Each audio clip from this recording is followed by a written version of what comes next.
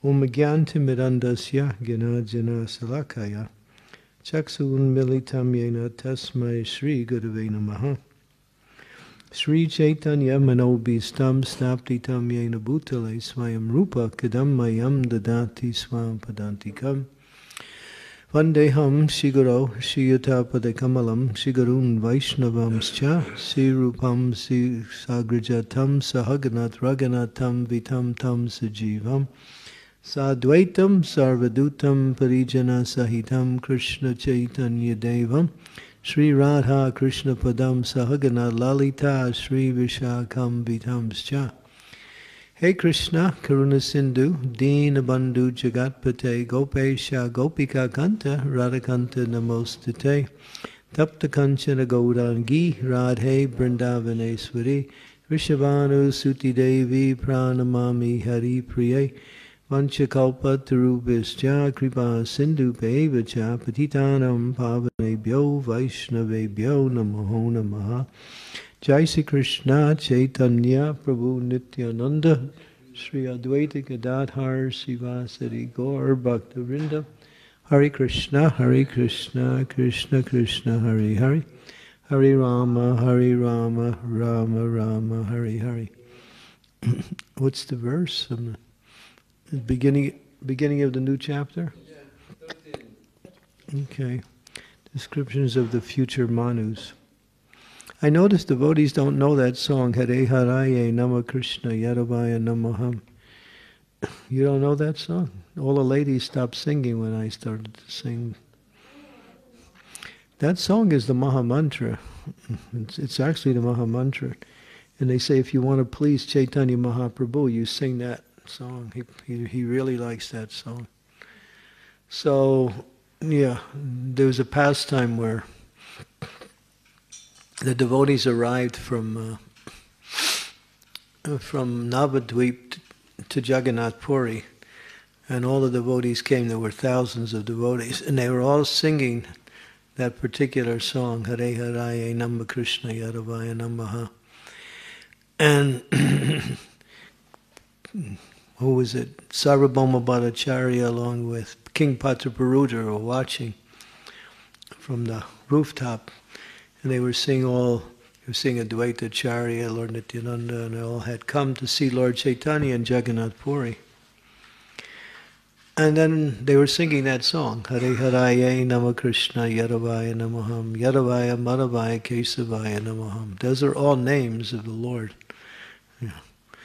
And uh, Prabhupada writes in the purport, this is also the Maha Mantra. Mm-hmm. So that's that chanting of those first two lines is actually the Maha Mantra. Mm-hmm. So learn that song, it's very important. Sar Narottam Das Thakur sings that song. Very, very important song.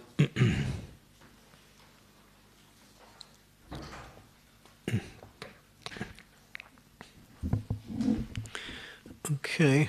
Om Namo Bhagavate Vasudevaya. Om Namo Bhagavate Vasudevaya. Hmm. Om Namo Bhagavate Vasudevaya. So, beginning chapter 13 of Canto 8, this is verse number 1. Sri Sukha Uvacha Manorivashvata Putraha Stradadeva Itashrutaha Saptamo Vartamano Yas तत् उपाध्यानि मे श्रृणु श्रीसुक उवाच मनोर्विवास्वथा पुत्र स्त्रादेव इथा श्रुतः सप्तमो वर्धमानो यस् Tadapatyani Me Srinu Sri Sukha Uvacha Manurvivasvata Putra Stradadeva iti srutaha Saptamo Vartamano Yas Tadapatyani Me hmm.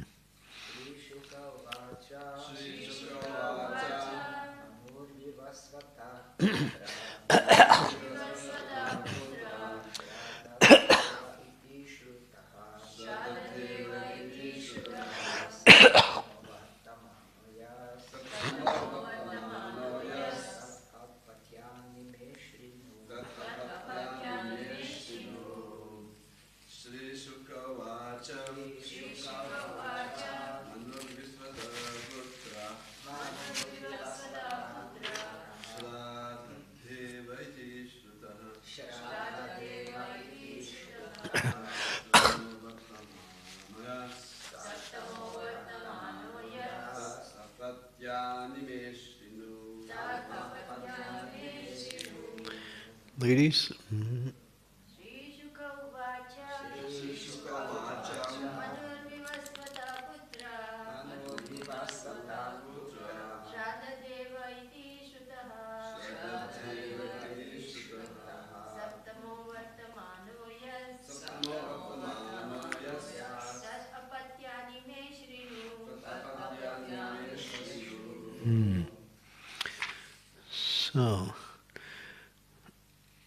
Sri Sukha Uvacha. Sri Sukadev Goswami said, Manu, Manu, Vishwaswata, of the sun god, Putra, son, Shradadeva, as Shradadeva, iti, thus, Shrutaha, known, celebrated. Saptamaha, seven. Vartamana, at the present moment. Ya, he, tat, his. Apatyani, children, may, from me. Srinu, just here. So, Sukadev Goswami is now narrating this uh, introduction to the description of the future Manus. Uh, and he says, the present Manu, who is named Shradadev, is the son of Vivishwan, the predominant deity of the sun planet. Shradadeva is the seventh Manu. Now please hear from me as I describe his son, his sons. And then he it goes on. O King Parikshit, among the ten sons of Manu are Ikshvaku, Nabaga, Drishta, Saryati, Nayishyati, Yanta, and Nabaga. The seventh son is known as Dista. Then comes Tarusa, Prashadra, and the tenth son is also known as Vasuman. hmm. In this Manvantara, O king, the Adityas, the Vasus, the Rudras, the Vishvadevas, the Maruts, the two Aswini Kumar brothers, and the Ribus are all the demigods. The head king Indra is Purandara. So, uh, Indra is not the name of the of the king of heaven. That's his position. So he has a particular name. And in this particular ma- manifestation, he is named is known as Purandara. That's his name. Uh, Kashyapa, Atri, Vashishta, Vishwamitra, Gautama, Jamadagni, and Bharadwaj are known as the seven sages. So in each Manu, there are there are different uh, prominent demigods. There's a particular person who is the uh, king of heaven, and there are certain sages. So he's describing the seventh Manu, which is the Manu we're in presently. In this Manvantara, the Supreme Personality appeared as the youngest of all the Adityas known as Vamana, the dwarf. His father was Kashyapa and his mother Aditi. I have briefly explained to you the position of the seven Manus. Now I shall describe the future Manus along with the incarnations of Lord Vishnu. O king, I have previously described in the sixth canto the two daughters of Vishwakarma named Samgya and Chaya, who were the first two wives of Vivishwan. It is said that the sun god had a third wife named Vadava of the three wives, the wife named Samgya had three children Yama, Yami, and Sradadeva. And now let me describe the children of Chaya. Chaya had a son named Sarvani, Savarni, and a daughter named Tapati, Tapati, who later became the wife of King Samvarana. Chaya's third child is known as Sanaishchara, or Saturn, Vadava gave birth to two sons named, namely the Ashvini brothers. Now they're important, the Ashvini Kumaras. And then, O king, when the period of the eighth Manu arrives, Sarvani will become the Manu. Nirmoka and Virajaksa will be among his sons. Purport. The present reign is that of Vaivasvata Manu. According to astrological calculations, we are now in the 28th yuga of the Vaivasvata Manu. Each Manu lives for 71 yugas, and 14 such Manus rule in one day of Lord Brahma. We now know, we are now in the period of Vaivasvata Manu, the seventh Manu and the eighth Manu will come into existence after many millions of years. But Sukadeva Goswami, having heard from authorities, foretells that the eighth Manu will be Sarvani, and that Nirmoka and Vijaksa, Vijakska will be amongst his sons. Shastras can foretell what will happen millions and millenniums, millions and millions of years into the future. Om Gyantimirandasya Girajana Salakaya. Chaksun Militam Yena Tasmai Shri Gurave Namaha. Shri Chaitanya Mano Bistam Stapitam Yena Bhutale Swayam Rupa Kadam Mayam Dadati Swam Padantikam Nama Om Vishnu Padaya Krishna Pastaya Bhutale Shimakti Bhakti Bhaktivedanta Swami Iti Namane Namaste Saraswati Deve Gaudavani Pacharine Nirvisesa Sunyavari Pastyatya De Satarine Panchakalpa Tarubhischa Kripa Sindhu Peva Cha Patitanam Pavanebhyo Vaishnavebhyo Namaho Namaha Sri Krishna Chaitanya Prabhu Nityananda Sri Advaita Gadadhara Sivasari Gaur Bhakta Vrinda Hare Krishna, Hare Krishna, Krishna Krishna, Hare Hare, Hare Rama, Hare Rama, Rama Rama, Hare Hare. Hmm. So we're getting a little uh, detailed information of how uh, the universes are managed. it's a highly organized management system. And in that management system, there are different persons who play different roles for the management. So today we these are these are what is called ma, areas of manu. Now, according it says here that each manu lives for seventy-one yugas. So yuga is the four. Um, well, actually, yeah, seventy-one yugas, but they're, they're talking about the Chatur Yuga, right? I believe. Yeah, Chatur Yuga means the four yugas taken together, and sometimes it's called one yuga. Sometimes it's called Chatur Yuga.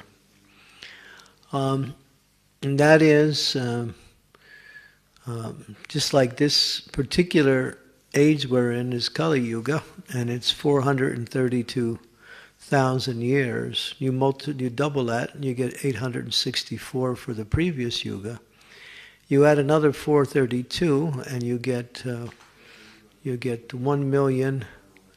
Um, 296, I believe. something like that. And then you to add another 432, and then you get uh, 1,728. Yeah. 700 and, or 20, 26, something like that. So if you take, if you add all those uh, together, you get 4,300,000 years. And then you multiply that by 71, and that is um, each Manu lives for 71 of those yugas. Yeah. And then, and 14 such Manus rule in one day of Brahma. So Brahma lives for 4 billion 320 million years is his day. And then if you double that, you get 8 billion 640 million years for one day and night of Brahma. And if you he lives for 100 years and you multiply that, you get 311 trillion 40 billion years is one day of one lifetime of Brahma. So, Haribol.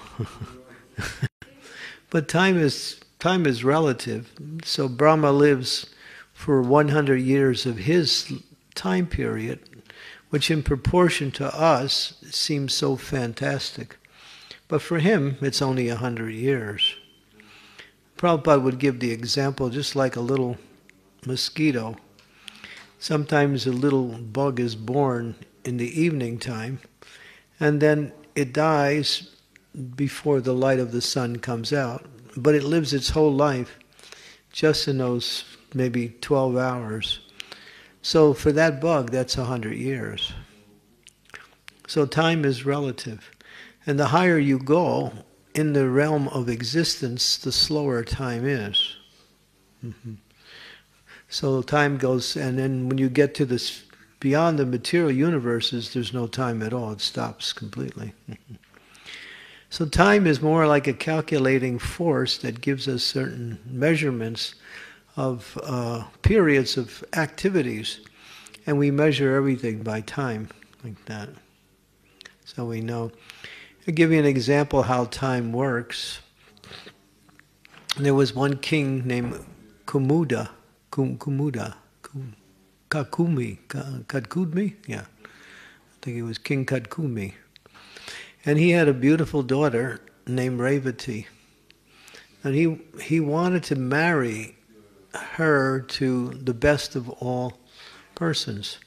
So he thought he'd go to the Lord Brahma, and he was a powerful king, so he went to the Brahma Loka to find out from Lord Brahma who could be the best husband for her? His daughter. So, but Brahma was busy. He was in a dramatic performance, and he, the king had to wait. And so when he came out, um, the king can, explained why he came, offered his respect, and then he named certain personalities who were living on earth who he thought would be. And uh, he asked Brahma to choose, and Brahma said, "Well, that's not possible because none of those persons are living anymore. uh, one moment of Brahma's time were thousands and thousands of years, earth years, like that. And so what Brahma did in order to give consolation, he said, you should marry your daughter to Balaram. now, Revati, she was tall, and uh, uh, yeah, I think so, yeah. And Balaram was, no, I forgot. One, no, one, no, she was small and he was big, Balaram. So when he married her, he stepped on her feet and then pulled her arms up so he could, she could be bigger, just as big as him. And, she, and don't try that with your wife; it might not work. But she just stretched them up there, because you know, in uh, us earthlings were kind of small. I mean, when, when Krishna was here, how big was he? It said that he was um, he was about four meters high, Krishna, but he was small. Uh, just like uh, Bhima, he was uh, like six meters. they found Bhima's club, this was not too long ago, maybe about a hundred years ago, in Kurukshetra. That club that Bhima had, nobody could even pick it up. they, they were excavating the ground in Kurukshetra to find some of the remnants of the battle, and they found Bhima's club. Yeah, this was not too long ago. And, uh, so I, I think they took it and put it someplace, I'm not sure where. But it's huge. It was, you know, probably as big as the ceiling. so the, the shoulders on the Battle of Kurukshetra, and that wasn't so long ago. That was only, you know, 5,100 years ago. They were pretty big. So people were big. Now people are getting smaller and smaller and smaller, like that. And as time goes on, we'll be. It says at the end of Kali Yuga, we'll become so small. We'll be like they call it pygmies. You know what a pygmy is? A pygmy is a, like a dwarfed person. He's like really like this size, you know, fully grown, you know. fully grown man is about that big from the floor up. Yeah, I've seen him. Even you can see him now in Kali Yuga. You seen pygmies? Oh, they're all over the world. You know, small little persons like that, fully grown. You know. Yeah, I, I mean, I even know one. He's a nice devotee. So yeah, as this is the age of deficiency, as but we see here from a little bit of understanding, Prabhupada gives another nice point, he says here. Shastras can foretell what will happen millions and millions of years in the future. So we know, we know what will happen in the future. Kali Yuga will increase and the quality of life will continue to deteriorate more and more people are thinking, oh, we can't wait till this pandemic is over and everything, it'll be nice, it'll be better again, and we'll go shopping and we'll have some more fun and forget it. Kali Yuga is just going to go down, down. And Prabhupada has already given us so many statements of prophecy in his, in his talks. He says the, the, the, cities, the cities will crumble and there will be no place to live in the cities. He says, and he said people will be dying in the streets by, by the thousands every day. So Kali Yuga is coming, and it's going to get worse and worse and worse, at least from the material point of view. But from the spiritual point of view, it's supposed to get better and better and better, as long as Lord Chaitanya's principles are kept foremost within the society of devotees. And that is, Prabhupada said, if we remain strict in our practice of Krishna consciousness, follow very strictly the four regulative principles and chant every day at least 16 good rounds, this movement will continue to grow and grow and grow. He said if we neglect these two basic principles and become lax in these two, then we won't have any potency.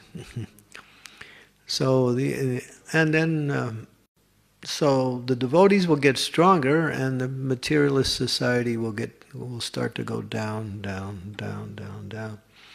But Prabhupada also said that in order for our society to continue to be effective, we have to develop these farm communities.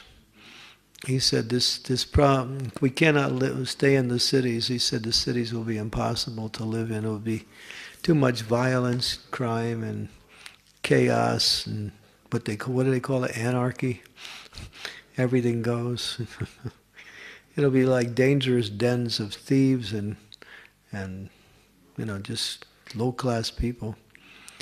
He said we need to build these farms and simple living, high thinking. These farms are the future for our movement. He said. He said we have to live like Krishna lived. Krishna, somebody was Prabhupada was talking like this and Prabhupada, one devotee said, Prabhupada, you are the Pharmacharya. And Prabhupada said, no, Krishna is the Pharmacharya. and Krishna's, you know, he's, he's a cowherd boy. and uh, they live in a very village type of atmosphere. So um, these farms can be modern also. We can have modern farms, but to live in the cities, Prabhupada said, preaching can go on in the cities, but for devotees to live, that would be, would be impossible to live in these cities. So these are the, we are getting a little hint of what's coming up in the future. And, and these are not just perhaps, these are actually the, for, the Shastras foretell that Kali Yuga will get worse and worse and worse. and uh, of course, when you read about it from the Kalki Purana, there is a Purana called Kalki Purana, at the end of the age, people will be so degraded that preaching will simply be, the Lord will come in the form of Kalki and just cut off everybody's heads because there's no preaching at that time. The preaching will be just killing all the all the, the low class people that are left. And Prabhupada said uh, that at the end of that age, people will, if you live 20 years or 25 years, you're considered to be an old man. 20 or 25 will be the maximum years that people will be living at the end of that age. And he said very soon, even now, and, as the time goes on, he said there will be shortages of food. There'll be no rice, there'll be no milk, there'll be no, uh, what else did he say? No, huh? Sugar. No sugar, no rice, no milk, yeah. And these things, he said, will be mm, unavailable like that as time goes on. He said that will happen very soon, he said. so Prabhupada was very prophetic in pre- predicting and showing that if we want to continue to develop this society, we need to establish a lifestyle free from dependence on these cities. Preaching is the best place in the cities for preaching. Therefore, keeping our temples in the city is important. But living it's going to be impossible to live in these in the cities because mm, it's just going to be chaos. So he said, Prabhupada said, we need to build these farms. And then he talked about simple living. He said, grow your own food. He said, the food that you grow on your own farms are a hundred times more nutritious than the food you buy in the stores. If you actually tasted home food that is grown on our own farms, it's full of vitamins, full of taste, it has good taste, it's very nourishing. What we buy in the farms now, stores now are just very stale, old food that's been trucked around from different places. Jai Panchatattva ki jai. They, they grow one food in one section of the country and they put it in these big lorries and these big trucks, and then they put refrigeration in there, and then they put they check them like hundreds and hun- thousands of miles from one place to another. No, the food is not. You know, you don't. You're not getting fresh something fresh. You're getting something just kept cold until they can get it to the supermarkets and and it sits on the shelf in the supermarket so you get it maybe after two or three weeks after it's been grown or maybe even more so it's not so fresh and the, the vitamin the, the vitamin uh, quality is really down so Prabhupada said we have to grow our own food like that and he said you grow as much as you can and then you keep cows and then the cows can eat whatever foods you don't eat. He said, you don't have to feed the cows separately. You can give them grass, of course. They like to eat, graze in the grass. But we can also give them corn and soybeans and wheat and various types of, you know, grains for the cows. Then he said, keep cows and, uh, you know, have milk and then take milk. He said milk will be very nutritious. Milks are uh, milk is good for finer brain tissues, which are necessary for understanding higher philosophical and spiritual teachings. Prabhupada said we should have milk every day to a small degree, not very much, not a lot of milk, but just a, a little bit. And uh, and he said uh, also uh, uh grow herbs too, and then make medicine from the herbs. I was in uh, New Talavan. We have a devotee in New Talavan. His name is Dwi Buja. and he has an herb business. He calls it Blue Boy Herbs. Blue Boy Herbs. Uh, you know all about this, yeah. And uh, he's turned it into a business. And I was with him once, and we were walking around New Talavan. He was showing me the different herbs. He was pointing practically every every minute. There was another herb he was showing me, and he said, "This is good for this. This is good for this. This is good for this." So he's become expert. So he's he's extracted the herbs. He's processed it, added a little little alcoholic tincture, and then he bottles it and he sells it. Now he has a business. And it's still going, right? Blue Boy Herbs. And he sells his herbs uh, to uh, the local people who live around our farms. They actually come and buy it from him. And he also supplies the devotees like that. He has herbs for everything. For uh, you name it, and he's got it. Whatever disease you have, he has the herbs to cure the disease. Yeah you come to my room, I can show you about 20 bottles of his herbs that I that I have. I bought a whole bunch of stuff. Yeah, really good stuff. Uh, high quality, not just he makes it in the best possible way. Just like it, he has this one cream he makes. If you get a cut on your finger, you put it on the, on that, and there, within a day, the cut is gone. He just blend all these different. So I gave it to one devotee who was like an athlete, and he got cut, and I gave it to him, and he said, "Wow, I get, that cut was healed so fast. I can't believe it." so yeah, in nature, everything is there. Prabhupada talks about when he was uh, when he was a young man, he had a very bad toothache so he was going to the different dentists and nobody could fix it for him. So then he decided to go out, and so one of his friends took him into the woods, and he met this Kaviraj in the woods who was a dentist. And he took an herb like this and put it on the side of Prabhupada's mouth where the tooth was. And just by doing that, all the germs in the tooth were out. He didn't have to take the tooth out because you know when the germs get in the teeth then they start corroding the teeth and then you have to extract it. Prabhupada said they just put some herbs on the side of my mouth and, and the germs went and the tooth was saved. Prabhupada talks about his own experiences. Yes so uh, everything's in nature. Nature's there. You can cure any disease even cancer from the uh, from nature Krishna, as Krishna says in the Bhagavad Gita, I am the healing herb. Yeah. So Prabhupada said, learn how to, you know, extract these herbs and make medicines from that, and then you, you won't have to go to any doctors. You won't have to get any operations. you can cure the devotees just simply by processing these herbs. And then he said, um, he said, build your own houses from, uh, from you know, cut down, well, get, get wood. What we used to do is we, we look for wood in the forest that was already dead. We wouldn't cut trees down because, you know, in order to cook, we, when I was in New Vrindavan, we were cooking with wood. And we had to get the wood from the forest. But the devotees were told not to cut down trees, but to find dead wood. And we found so much dead wood, fallen trees, or even dead trees. And then we took it from the dead trees.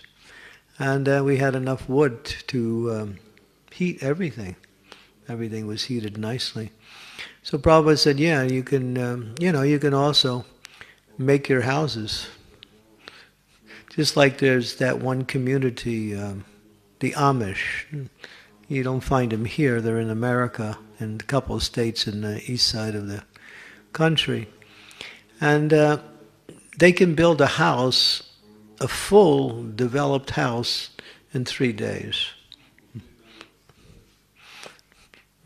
They just they get together as a group. They're all they're more like a communal. Uh, they live in different places, but they're all working together as a community they live all in the same area. And if somebody needs a house, they all come together. In three days, the house is done, finished completely. Everything, windows, roof, the whole thing is there. And very nice house, complete, not just a one-floor house, but a complete house, two floors. They can build a barn also in a few days. so yeah, like that. Now we have to hire people to do these things and pay a lot of money to do it. We can train devotees to build houses, milk cows, plant agriculture, learn herbology, all the different skills that are needed in order to live. And then we have everything right there. Devotees have nice service too, like that. So that was Prabhupada's. Prabhupada made a very detailed explanation of the whole idea of self-sufficiency.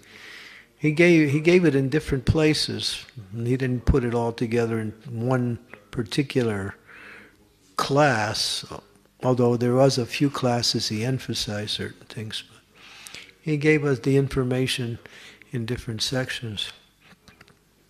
So this is the future. Here it says this is the future. So we should be very thinking about well how to you know prepare for the up and coming disasters as Kali Yuga continues. Hmm. Just like now, people are can't go to work unless they uh, unless they adhere to the rules and regulations of the medical society now. So they're being restricted from different places. So what happens is when people can't go to work, then how are they going to support their families? So after some time, you'll see that crime will start to rise everywhere. Well, people will be desperate for food. Prabhupada talks about that and during the the crisis in India, when there was, you know, and of course in India people were not criminals; they wouldn't go out and steal things. But people were dying because there was no food available. They didn't have any. There was a you know shortage of food. That was done by the government in order to get people to join the army. They created an artificial famine in order to get the people to to join the army so they could fight the war. So they, they restricted the food supply for people, and people were dying, and others were joining the army just so they could get something to eat. So uh, yeah, so and you'll see as time goes on, there'll be more and more, uh, you know, difficulties in our society. Mm-hmm. You don't have hardly any crime in your country. It's one. Of, it's one of the most. It's really nice to reside here. But in most countries around the world, especially you know like the United States or the UK, uh, crime is is always there. I mean, I know devotees. Many times their house has been robbed, and uh, you know, there's so much crime going on in in big cities. Here, it's pretty good. It's not so many. Even when I used to do jail preaching here, we would go to the jails, and, and most of the crime was really small stuff. Maybe when somebody got caught for drugs. Not heavy drugs, but, you know, mild drugs. Or there was some corruption in the government. That's where all the criminals are, in the government. it's like the people are okay. I hope nobody's recording this. when I was in, uh, we went to this one uh, prison. What was it? Uh, in a place called Ig. What was that city called Ig? I-G? Yeah. So there's a woman's prison there. So we, we were going regular every year to visit this woman's prison. And we were having kirtan, and the ladies were nice, and they really liked what we. So one year when I went, there was one this top-notch government officer. She had got caught for doing some wrong business with housing or something. I forgot. I guess you know her name. she was she had gotten into the prison the day before we came as a group. So she was there, and she would she didn't want to be in the prison. That was for sure. so she decided to come to my class, and she sat my, in my whole class. And I tried to gear the class right to her, you know, as best as I could. She didn't say anything. She just listened, stayed for the whole class. And then after that, she got up and started walking around the prison. And when she was walking around the prison, practically like about two or three, four or five, maybe, all the other ladies were following her around. Here's a very important prisoner. she was a celebrity. I think she got out of prison somehow. She paid her way out. That's how they get out, you know, you know after some time. If you got money, you got justice. If you don't have any money, no justice. so, uh, yeah, so here Prabhupada says Shastra can't foretell what will happen millions and millions of years into the future. And if you read Bhagavatam, everything is there. Bhagavatam tells you. When you listen to Srila Prabhupada's talks, his lectures, and his classes, he's, he's telling us, you know, we have to get these farm communities together, otherwise we might find ourselves in a very difficult situation trying to maintain our society once things start to crack in different places. Just like now, we have to pay for the electricity goes out, the gas goes out, the water goes out. what are we going to do? We're stuck. we have to haul water from the streams. Just like I was in New Vrindavan, and we were getting water from underground wells. That's how we would cook with everything, that's how we would bathe. And in order to get the water from the underground wells, we had, ha- we had an electrical pump, which would pump the water up into the, the water systems, then we could use it for our cooking. And so one day the electricity went out and the pump was not working, so we had no water. and we had, and I was working in the kitchen, so we had to do cooking. And devotees had needed water for bathing. So we were taking big barrels of just empty barrels, and we had to walk about a half a mile to a, a stream. And we were filling up these buckets from the stream that was there, and the water was was fresh water from the stream and we would haul it all the way back to the temple, and then we would use it for cooking. And that was a slow process. all the devotees were there carrying these big buckets of water. So just the electrical pump went out because the electricity went out, and therefore we couldn't pump the water up. so you know, it's, an example of how you know we become dependent on electricity, we become dependent on gas, we become dependent on you know so many things that we need. If the gas goes out during the winter time, whew, everybody freezes, right? We'll be lighting fires in the temple room, right, to keep warm.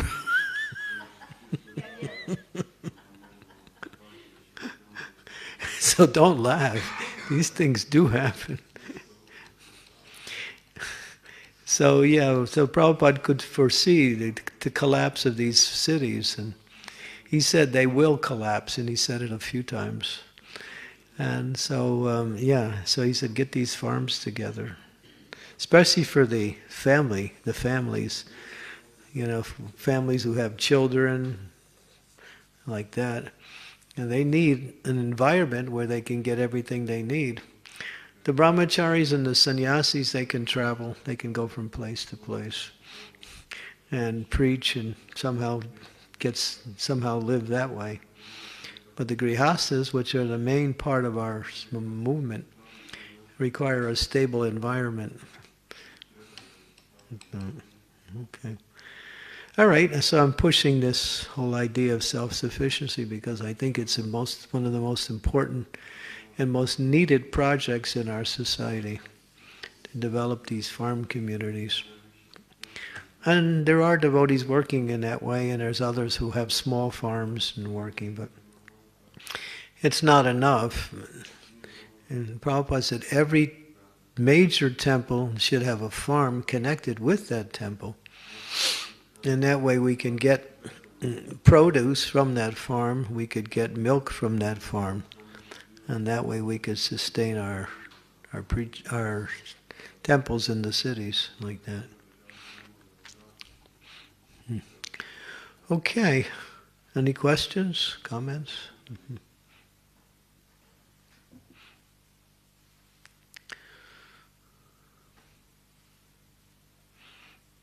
Yeah. Uh, thank you, Maharaj, for the class. It's uh, you know an eye-opening class in one sense because we tend to become complacent or take things easy. That's just the nature of you know how we are. And Everybody's like that. You wait to wait to the crisis, then you do something. but Prabhupada's preparing us by his lectures prepare now. Mm-hmm. I remember when this happened, uh, Hurricane Katrina, that was 2005, and when it hit, we got a glimpse of what the future is going to be like. That was that was one of the most hellish situations. So many people died in that hurricane. Yes, mm-hmm. yes, and we got an idea of what it is like to do without that means no electricity, no water, no food coming, no nothing. You Just, were there, right? Yeah, I was right there. And so I thought, Krishna is showing us this is what is going to happen, so get ready, get prepared. He gave a glimpse of what it is going to be like. So don't be caught with your, uh, don't be caught, you know, uh, unprepared or unaware because this is what is going to happen. That was a real quest. They were they were using these gymnasiums and stadiums and bringing people into the stadiums so they could live.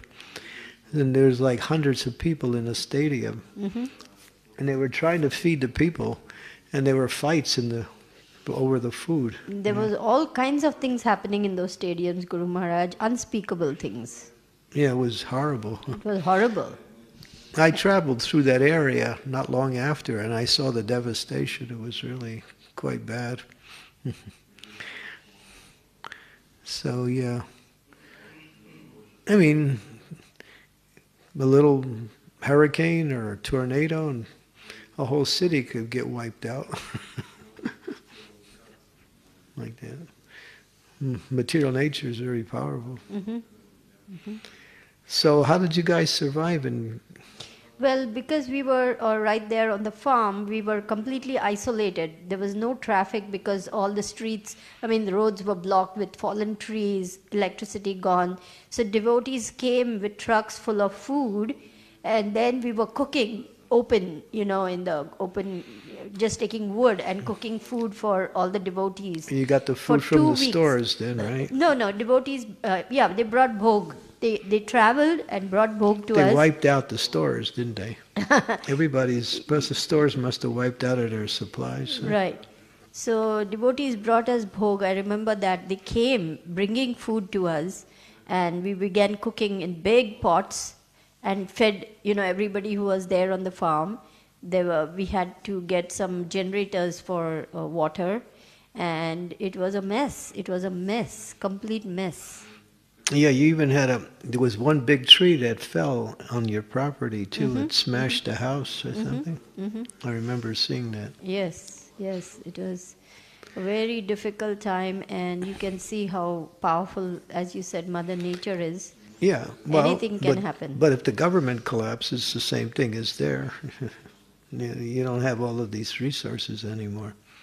I just read yesterday that the food supply in the world is 70 days.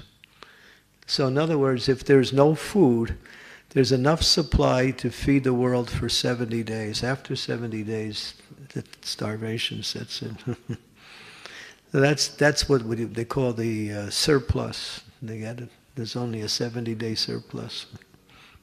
That's only two months. yeah, so Prabhupada said, you know, get land. and and you know grow your own food.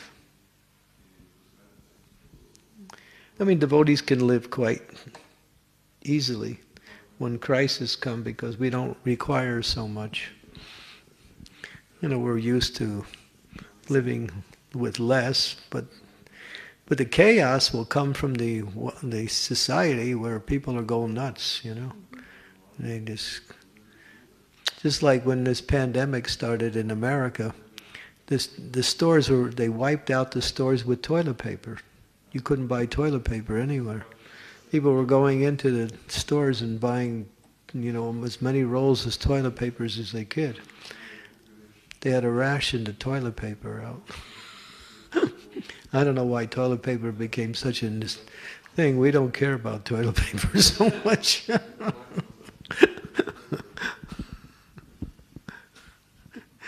yeah. So yeah, and they were just. I mean, we imagine when the food goes out like that. The food supplies, yeah. Uh, yeah, so it's um, so Prabhupada wanted us to have that stability in our society. And he said 50% of my mission has still needs to be fulfilled, and that is these farm communities, varnashram. Mm-hmm.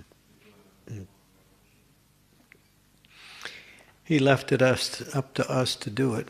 And there are a few places that are really working in that direction, developing it, but it's not enough. we have this one devotee in uh, Croatia. She has her own farm and she's by herself and she's running the farm by herself. That would be a good place to go if things couldn't. Savitri, she's got her. She takes care of one cow and she also grows other things and she manages her house, takes care of deities, all by herself. to, to live on the farm is not so easy for people who are brought up in the city. because once if you're brought up in the city, you you're just accustomed to, that type of lifestyle, and you put you in a very simple environment. You find yourself a little bit lost or quite awkward in that situation. It takes a while to get attuned to that. There are devotees who love that kind of lifestyle, who find it very natural. And there's others who have a difficult time making the transition. but growing your own food is really the the basis of self-sufficiency. Prabhupada said, when Prabhupada was asked, what is the first thing we do for uh, a self-sufficient? Is it cow protection? Prabhupada said, no, agriculture. First thing, you need food. People need food and then grow food and then you can feed the cows also and the animals like that. Mm-hmm. Yeah, my mother would always say, you know, she grew up in a village and later on they migrated to the city when she married my father and she would say you children don't know what joy there is in a simple village life. We would go we would go to the river we would take a bath we would have such fun. It was a very simple life but it was very joyful. She would mm. say that quite often. Yeah. Why the joyfulness is because people were more together on a personal level this city life kind of fragments people and people are not really. everybody's got their own little, you know, house. There's they they got their own little kingdom. Me, my wife, and my two kids. it's my kingdom. And the next door neighbor, you don't even know who he is. so there's yeah the, the lack of personalism in the cities are very strong, very impersonal. In the villages, it's more personal. People are more in working together in a more common way. Lokanath Swami made that uh, that that video. What was it called? Simple Simple Village. Simple Village. Uh, yeah, it's a really good video. you take it, you'll see he shows what village life is like and how people who have become estranged from that, how they live a very uh, lonely life. In the village, nobody's suffering from from loneliness. in the cities, people are together, but they're lonely. They're alienated from each other. Hmm. So this whole, therefore, the point is, and this is the important point, the lifestyle we live in these cities is contrary to human nature. Completely contrary. And therefore, it can't last. It will crash. Fortunately, your country and a lot of countries in this area, they were under communist rule for a long time. Therefore, they didn't have all of the opulences of the capitalist country.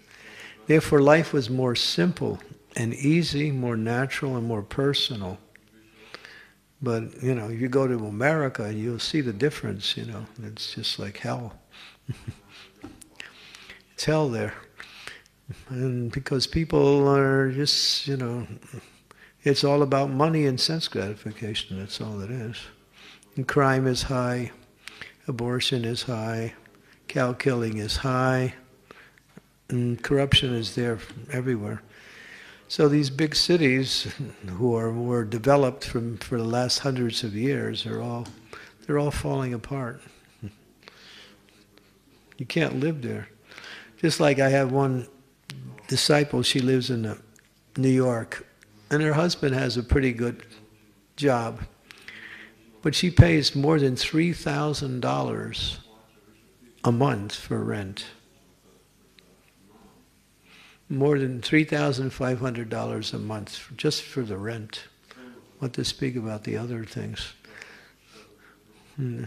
So if you want to, if you want to get a apartment in one of these big cities, it's like you have to be rich, or you have to have a good job. They pay, they pay most, a large part of their income just for just for housing.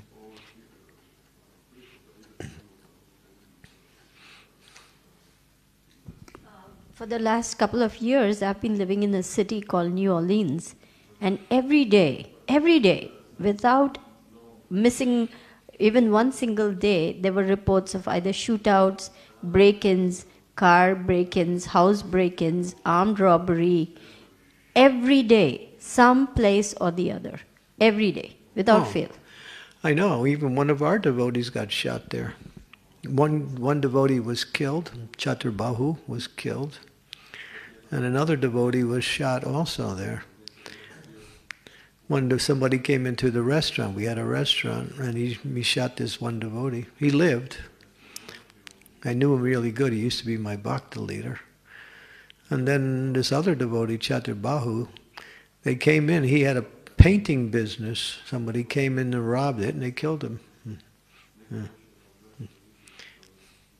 Chaturbahu or Chaturbanu?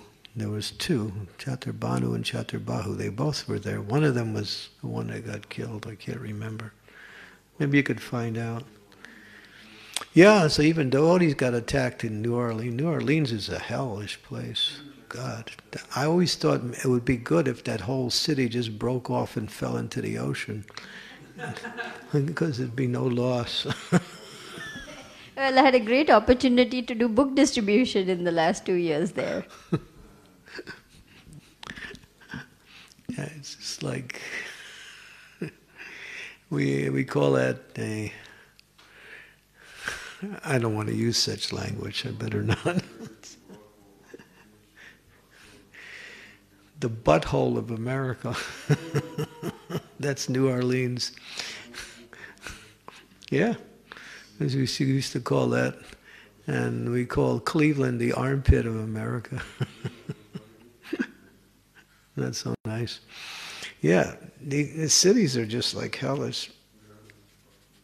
Chicago. Chicago, uh, you know, for a big city, it's not as bad as most big cities, but it still has its. I mean, Chicago's South Side, you can't go there. If you go, you get killed immediately. There's so many gangs in there. There's more than 500 gangs in America, street gangs, highly armed. Even the police can't take them out. Yeah. Highly armed gangs. They're, they're usually ethnic gangs. They're like Spanish, Mexicans, uh, Chicanos. Chicanos are Spanish, Mexicans. Just like I was in, you know, I was in the Chicago Temple, and right around it there were many gang fights in our area. So sometimes in the middle of the night we wake up to gunshots, and we would look out the window and watch people fighting. in the middle of the night you'd hear gunshots, or even during the day you hear gunshots. That's in our Chicago Temple. so. Yeah, and the Chicago South Side is horrible. I mean, you can't go there. Yeah, yeah. You know, I'm preaching to one. He's a devotee. He's in jail. And he be, he got initiated in jail, and he he he killed eight people. and he was in a gang. And so mm, they kill each other in the gangs, you know, different gangs. So I mean, he wind up in jail, and he's in there for life. But he likes Chaitanya Charitamrita, so he reads it all the time. I sent him a, a copy of the big red one, the big book. So he's reading it. So he's becoming transformed. He's actually becoming a gentle devotee now. So he wrote me one interesting letter.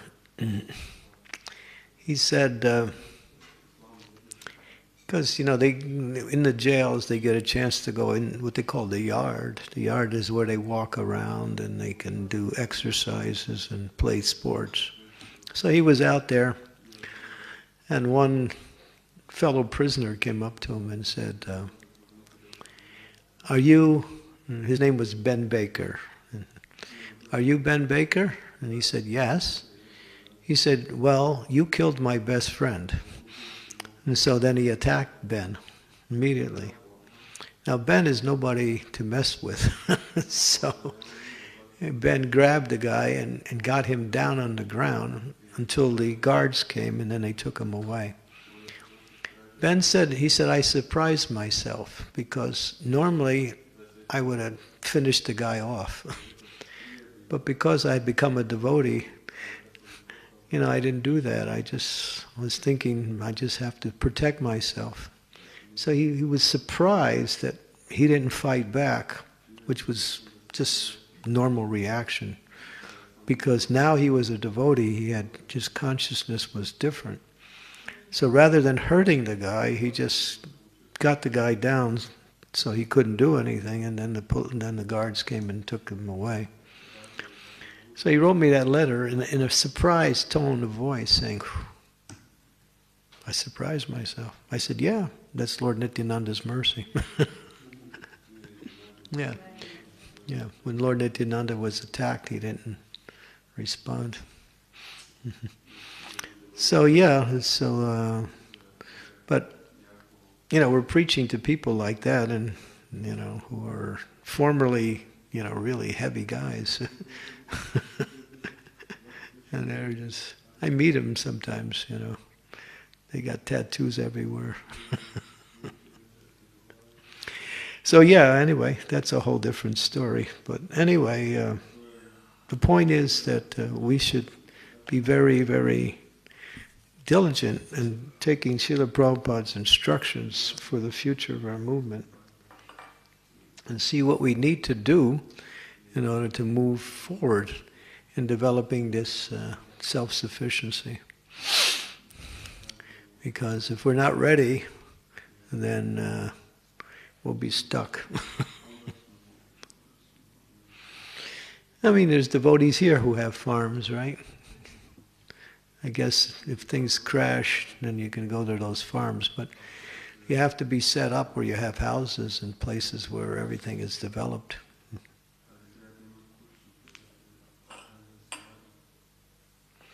Okay. Mm-hmm.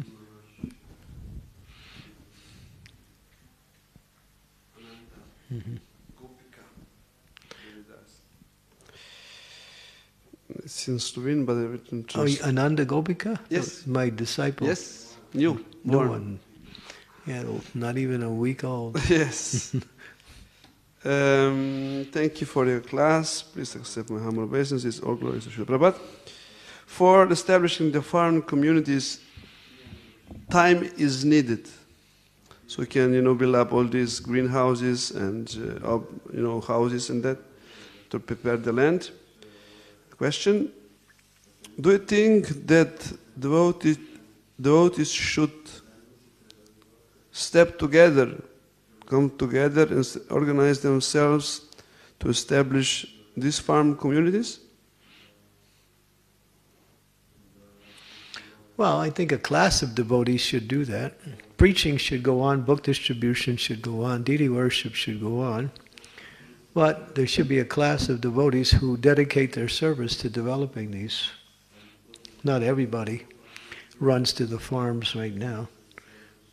But I think more the grihastas start to think in terms of, you know, where's their livelihood going to be if everything collapses?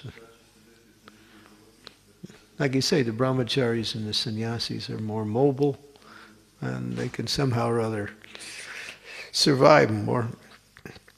And they'll be in the preaching mood, but the grihastas, they need to take care of their families. Okay, thank you. yeah. Um, from the beginning of the class, I just question or comment. You mentioned that story about Revata, King Revata and uh, Revati in Balaram. Yeah. I think was pulling down because she was she was living in previous age. She was bigger than him, right? Yeah, and then she with the club. That's what I thought, but I, I couldn't.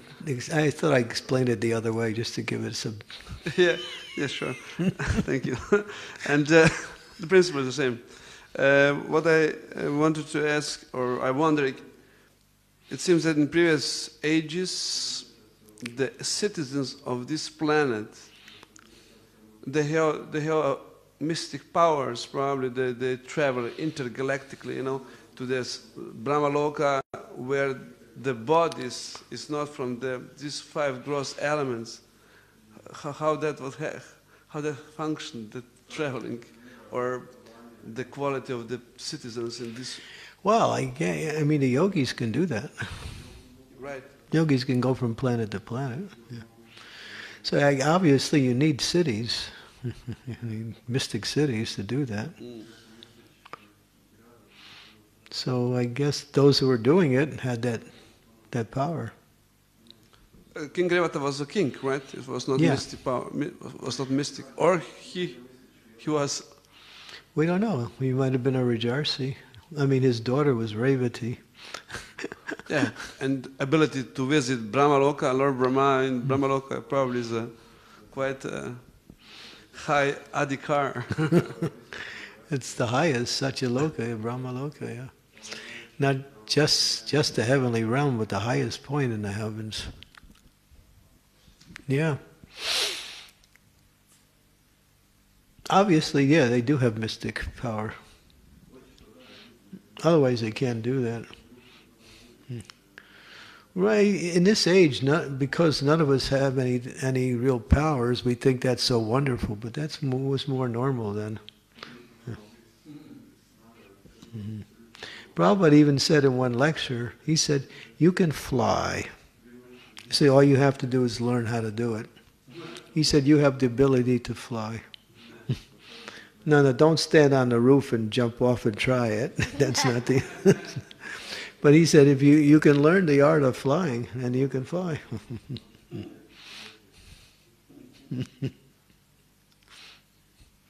I wanted to just say to Ananta Prabhu's uh, question that uh, King Dasharath, he went to the heavenly planets to fight for the demigods. So he actually went there and fought and received some special benedictions also. What's that other king? Uh, Also, Arjuna, Arjuna also went to the heaven, yeah. Right, right, right. What's that one king who wanted to know when he was going to die? King. He had one minute left. Katwanga. Katwanga, yeah. King Katwanga. He was fighting for the demigods also in the heavens. Mhm. They actually called him from earth because they needed his help. Yeah. He came. Urvashi came down from the heavenly planets to be here. Yeah. She was a celestial. And she went back, yeah. yeah, she went back. So interplanetary travel was more common in those days. Mm, Just practically, just like we go from city to city, they go from planet to planet. And the regular visit of the Devatas, the earth was common, not, not, not so far away. Back in the- Yeah, there's there's actually invisible planets all around the Earth, many of them.